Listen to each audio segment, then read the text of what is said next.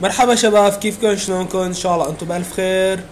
أه معكم أخوكم من قاهر السوري بدرس جديد.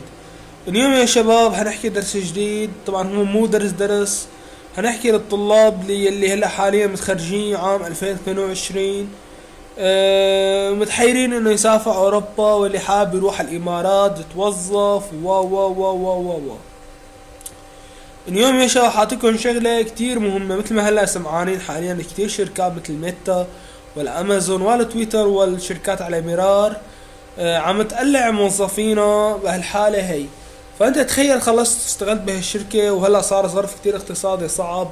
في حرب الصين كانت تصير تجي على الطريق في حروب كتير اقتصادية وما حتنحل صعب كتير تنحل. فهي الشغلة حرب اقتصادي أسعار حتغلى وأسعار الصرف حتغلى كتير حتغلى.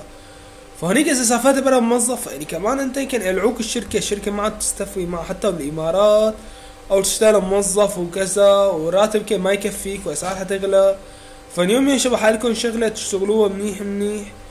هلا أنت كطالب جامعة آه، خريج سوريا مثلا أو شو ما كان دولة.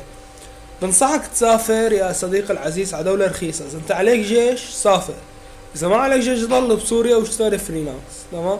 إذا عليك جيش معظم السوريين يكون عليهم جيش. بتروح على مصر تشتغل شيء اسمه freelance تشتغل freelance آه، بشركات Upwork آه، bug bounty مبرمج كذا كذا. و و و تشتغل freelance أفضل آه، بصراحة من التوظيف. لأنه بصراحة التوظيف في دول كتير. في تركيا في مصر في في تركيا في مصر. آه، هدول آه، يعني دول منيحة يعني كتشتغل فيها. freelance وكسعر عملة منيح يعني إنك بتوفي معك هنيك دولار رخيص مقارنة بدول تانية والعملة يعني منهارة عندهم. فبالتالي فيك تشتغل أنت ك freelance وتوفي معك هلا مصر ما عليها عقوبات كذا الحكي. فيك تشتغل PayPal Visa card وتركيا في Visa card. فيك تشتغل freelance هنيك بتركيا أو مصر أو شو ما كان. هدول الدول يعني تشتغل freelance وبتجيب عملة كتير خيالية وبعدها بتفتح يعني مشروع شركة بسيطة جدا. تحاول تستغل الفرصة المناسبة لإلك تفتح شركة. أنت الفرصة المناسبة تفتح شركة فيها. رغم الظروف المناسبة أنت بدك تفتح شركة ظروف مناسبة وتستغل الوضع. مو تفتح شركة مثلا ذكاء صنعي وهلأ مثل مثلا ميتافيرس فتحت فكرة ال AI و VR AR وهي الوضع غير مناسب. صارت حرب أوكرانيا وروسيا. فما في طلب على الشغلة هاي وهذا الشيء أدى لخسارة مثل فارس. فأنت بدك تفتح مشروع وقت المناسب المناسب للوضع.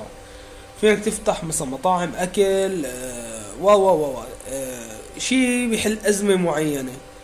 تمام؟ أنت كسوفتر إنجينير أو بدك تعمل شركة أو صاحب شركة تفكر تفكر شغلة بتحل أزمة شيء معين بالبلد اللي أنت عايش فيه بتخدم الشعب والمواطن. هذا الشيء اللي كتير بفيد بالبلد. وهذا الشيء كتير مشروع ناجح بصراحة. حتى هيك حتفكر شو الشيء اللي بيخدم بهذه الظروف بيخدم هذا الشعب والمواطن. فأنت من خلالها كون ربحت من ال bug bounty لحق حالك على أي واحد بيشتغل لحق حالك بال security freelance لحق حالك لأنه كتير في منافسة. كتير كتير كتير. بدك تلحق حالك تشتغل قدر الإمكان مثل الروبوت أول كم شهر ما تهدي ما تنام تقعد تشتغل طول الوقت. وتدرب حالك تلحق حالك ولا تخسر وقت دقيقة من وقتك.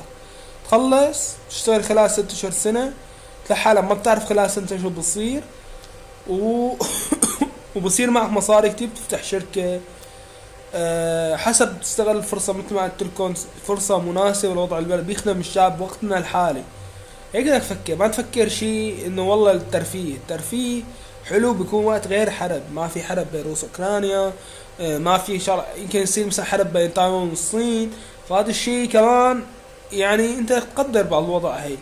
تمام؟ هيك شباب أتمنى آه، عجبكم الدرس. بتمنى أشتركوا بالقناة آه، حاولوا تطوروا freelance. لأنه هلأ المستقبل حاليا ال freelance صراحة بصراحة بصراحة إذا أنت عايش بسوريا بنصحك تضل هون بسوريا. إذا ما عليك جيش طبعا ال freelance هون بسوريا أسعار رخيصة نسبة للعملة.